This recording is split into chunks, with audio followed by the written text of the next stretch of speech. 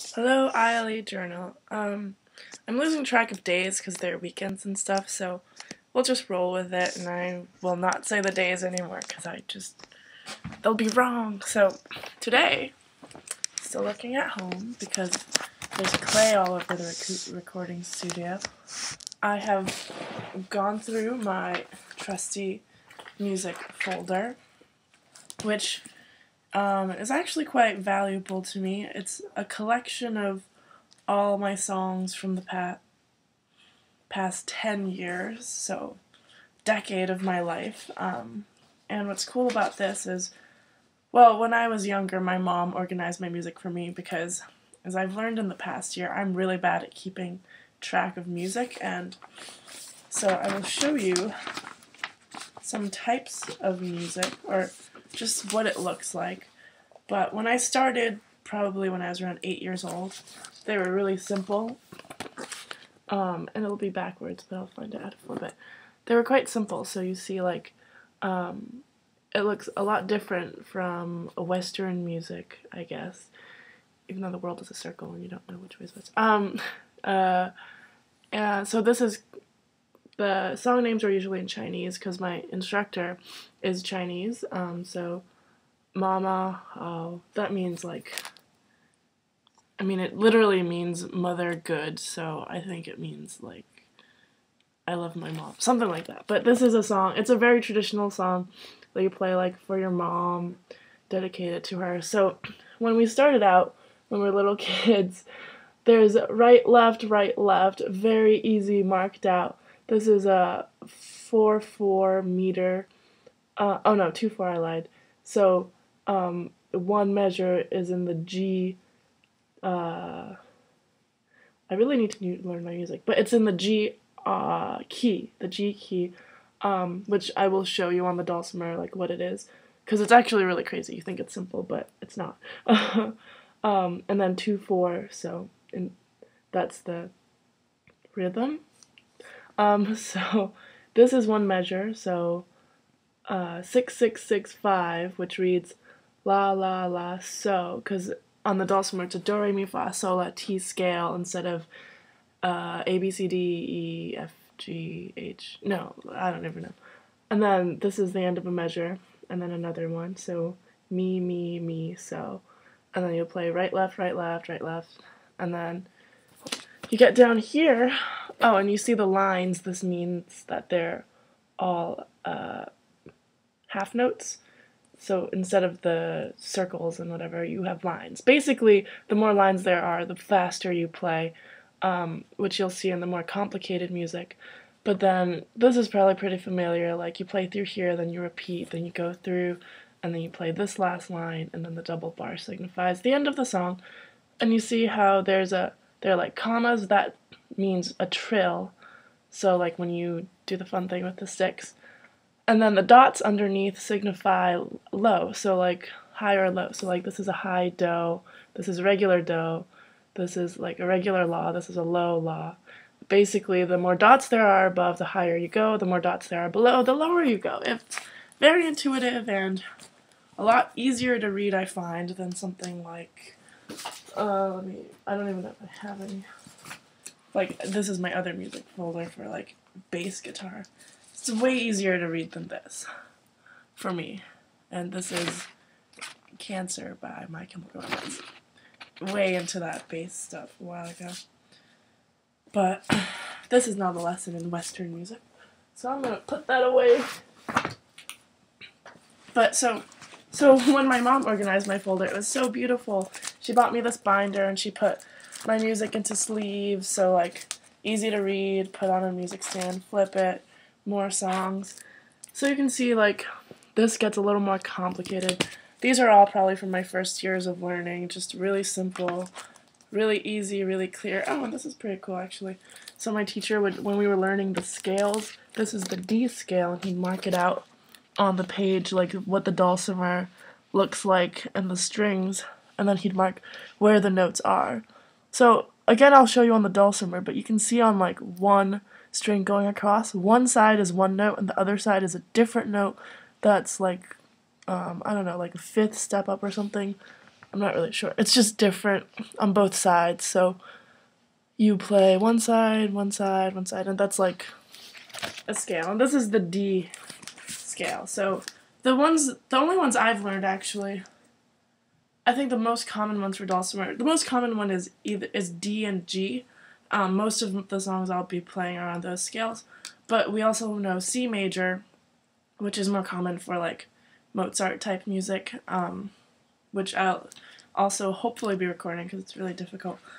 But so the G scale and the D scale are basic, and then there's the E scale, the C scale, and the A scale. They're they go really crazy.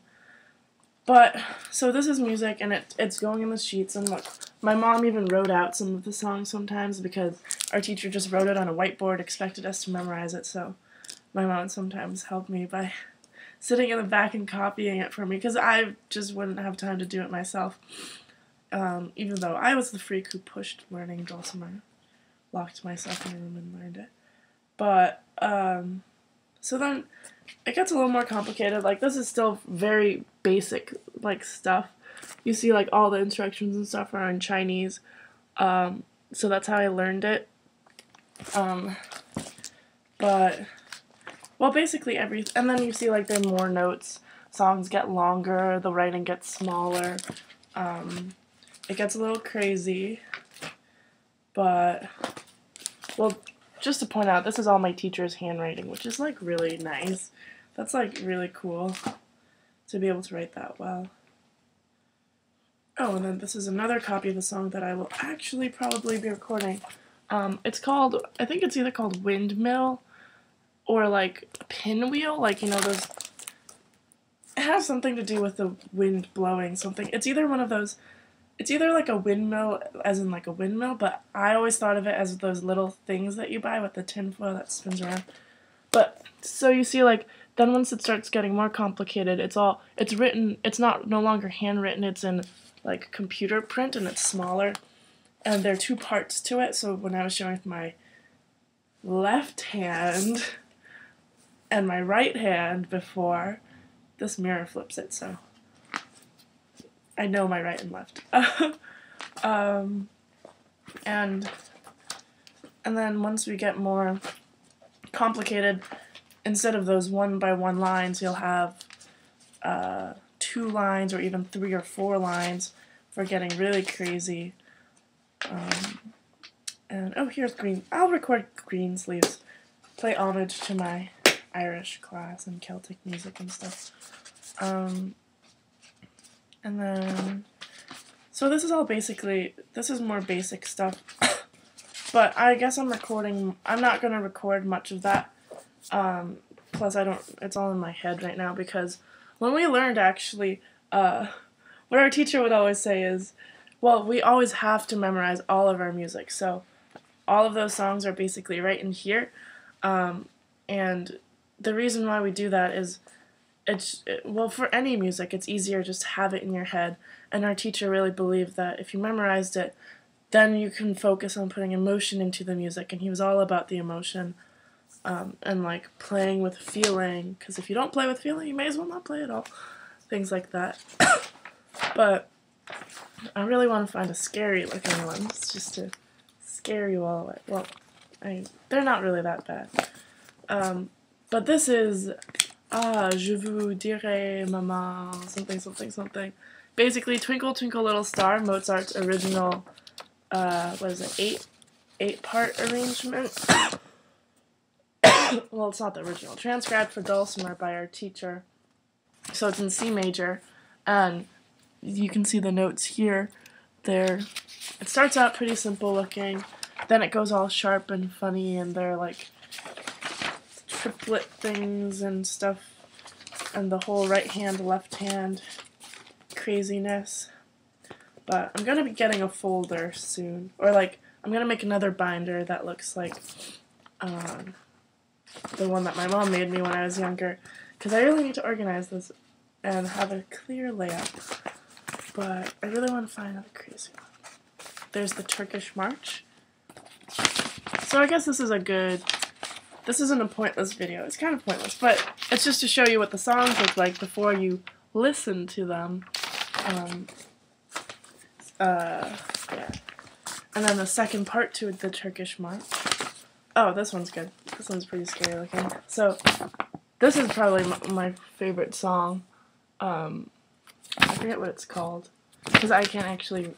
I have all my years of learning to read Chinese didn't really sink in, but you can see like these huge things where you just go crazy, and then this is all for one person. So there's the right hand and the left hand. Um, what you have to learn, and then it just goes on for five pages. Most of these songs are at least five minutes long, uh, which is kind of cool because like when I play, I I just lose track of time. When I was younger, actually, I would um, think of stories to go with the songs. So I, I don't know. This is kind of weird, but um, when I played a song, I'd have a image, like a movie playing through my head that went with the notes. And like there was a song about, uh, like there's a song called like horsing, like a boy on a horse, messenger going somewhere, and the way that it sounded was like a horse galloping, so the beat was like and then I just have this image. Actually, I don't even think the song is called that. I, in my head, I would just think of a boy on a horse riding through a desert, and it was really fun because you'd go up and you'd be like, "Oh, he's slowing, he's speeding up, gonna get there," and then slowing down, getting sad, getting mellow. Oh, maybe he fell off his horse and broke his leg, and then you'd sort of go on with that. That's how I played songs in my head, and it made it really fun, and it helped put emotion into my songs, but. This is a pretty epic song that I'll be recording. Has a star on it. So we'll see how that goes, but um, so that's day question mark of my ILE.